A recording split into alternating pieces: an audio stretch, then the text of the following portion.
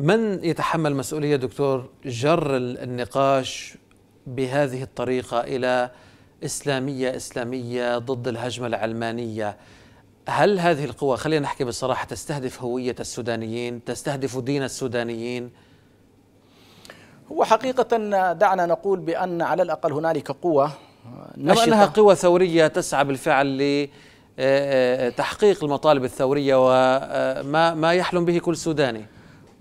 هو دعني أقول بأن قوى الحرية والتغيير على الأقل في وثائقها الأساسية الوثائق الأولى لم تكن هنالك قضايا تصادم بشكل واضح مثلا الهوية السودانية وتختطف على الأقل المرحلة التي ينبغي أن تكون مرحلة السورية لم تكن تختطفها اختطافا إلى المرحلة الانتقالية. ولكن يبدو هنالك قوة على الأقل ودعنا نسميها باسمها القوى اليسارية على وجه التحديد أكثر فاعلية في الحراك خاصة في المهنيين وأكثر فاعلية يبدو أيضا ميدانيا وبالتالي ترأس مجموعة من اللجان ومجموعة من من الفاعليات.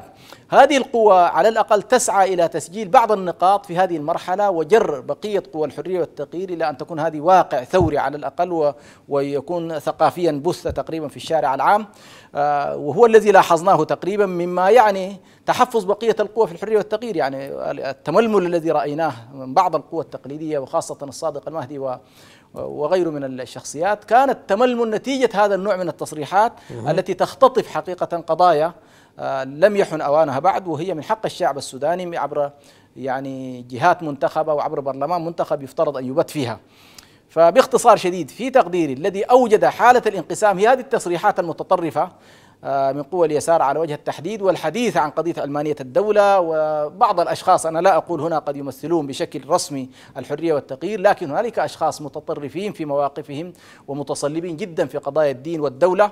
هذه المواقف يبدو جرت الأطراف الأخرى وتعاملت مع الموضوع وكأنما خلاص تم الاتفاق على هذه القضية أو يحاول تحاول قوى اليسار أن تجير الثورة كلها لمفاهيم وقضايا تتعلق بالهوية وهي ليس لها هذا الحجم الذي تستطيع أن تسوق به أو يعني تشكل به الواقع.